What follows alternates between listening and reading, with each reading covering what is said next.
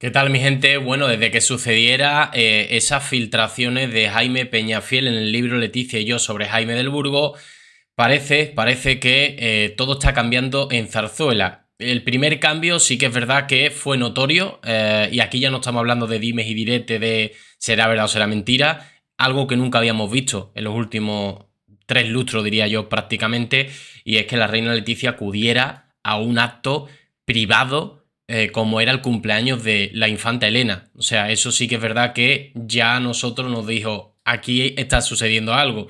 Realmente le ha llegado lo de Jaime del Burgo y ha calado hondo en, Zarzuela, hasta tal punto de ir a un cumpleaños donde estaba la reina Sofía, el rey Juan Carlos y las hermanas del rey, las infantas Cristina y Elena, que evidentemente eh, no tenían ningún tipo de relación con, con, eh, con ella, con la reina, y, bueno, nos pareció raro, ¿no? Pero ya era indicativo de que algo sucedía.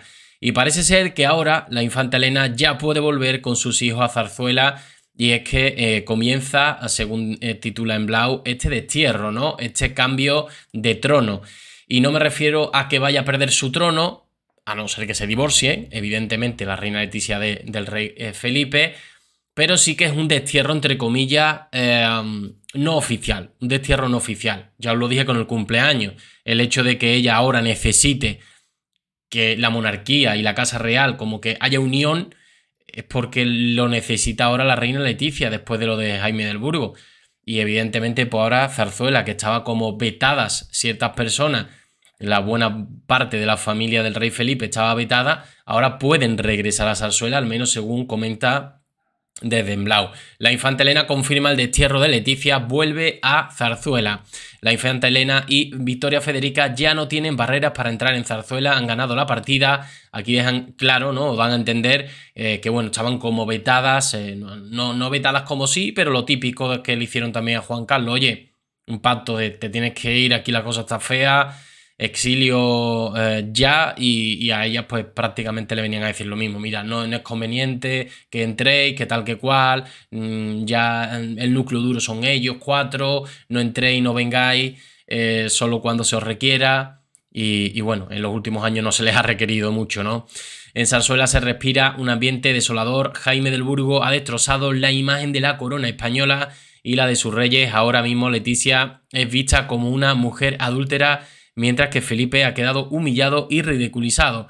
Me paro aquí y comento. Sinceramente, hasta que no se desmiente esto, eh, la libre eh, opinión y la libre, eh, el libre pensamiento de cada uno va, va de por libre. ¿Vale? Es cierto que me sigue costando creerlo en mi opinión personal, pero entiendo que la de muchos de vosotros y de vosotras, que me decís rey calzonazo y la reina adúltera. Eso es lo que pensáis mucho. ¿El motivo? Pues bueno, Jaime del Burgo ha dicho esto. Pruebas, pocas, pero el libre pensamiento está ahí. ¿Por qué no lo desmienten? Jaime Peñafiel dice, no lo desmienten porque saben que es verdad. En fin, la noticia ha saltado a la prensa internacional. Todo el mundo habla de la supuesta infidelidad de la madre de Leonor y Sofía a su marido con el abogado durante varios años. Algunos no han querido creerse estas palabras, pero para ello el de Telmortiz ha dado datos de su historia de amor. Él mismo asegura que ahora todo son palabras, pero sabe eh, por qué las dice. De hecho, tiene en una caja fuerte todas las pruebas necesarias y además amenaza con enseñarlas. Y preguntado Jaime Peñafiel en esta última entrevista en YouTube, parece ser que sí, que es verdad, que tiene pruebas y que, y que podría enseñarlas, ¿no? Yo insisto, mientras que no me las dé, mm, me quejaré. Si me las enseña, pues diré, oye, mira, pues ahora ahora sí que, algo, algo hay o coincide la fecha con las fotos o con los documentos o con lo que tenga, ¿no?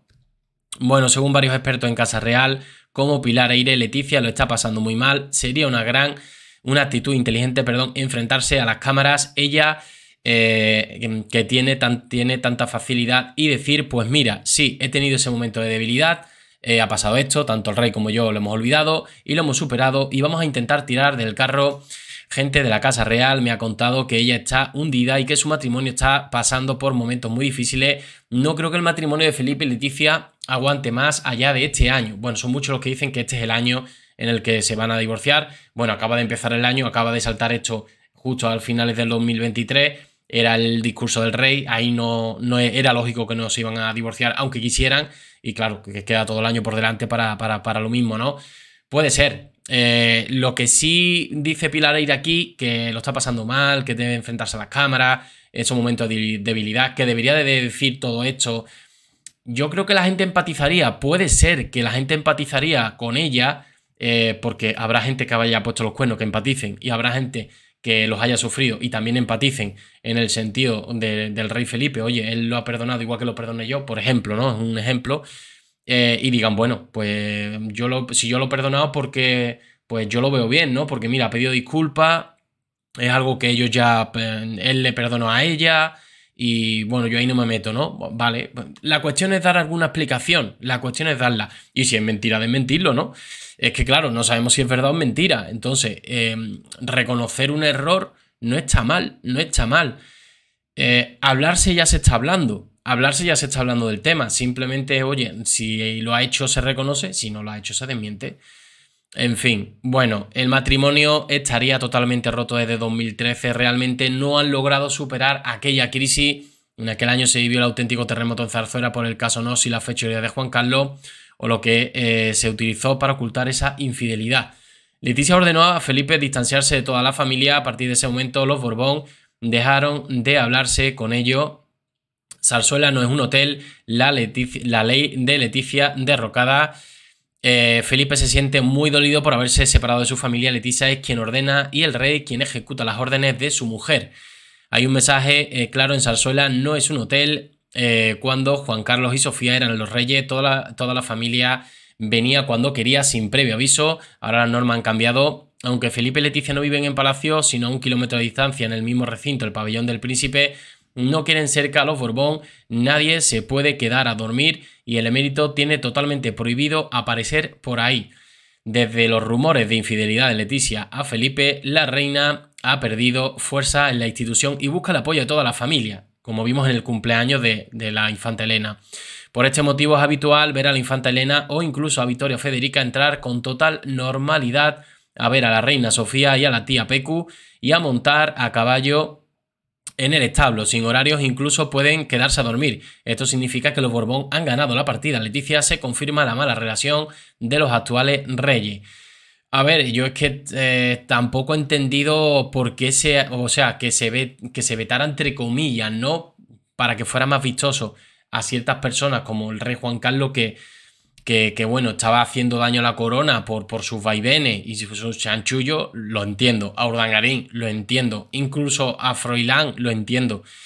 Eh, pero al resto, bueno, fue Victoria Federica, pero al resto que no puedan ir a ver a su madre, eh, que, tenga, que tenga la reina Sofía que salir de, palacio para ver a sus hijas y a sus nietos y no puedan tener esa normalidad, tenga que estar eh, saliendo permanentemente, oh, que hoy viene Juan, hoy que viene Victoria, hoy que viene...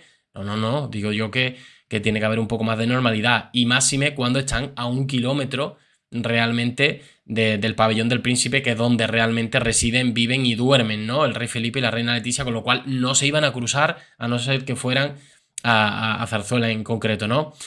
Bueno, mi gente, pues hasta aquí un poco esta información. Me gustaría que dejaseis vuestros comentarios. ¿Creéis que está ganando puntos los Borbones con respecto a la reina Leticia y que está teniendo que recular por el tema y el asunto de Jaime del Burgo? Dejármelo en comentarios. Nos vemos en el siguiente vídeo. Un saludo.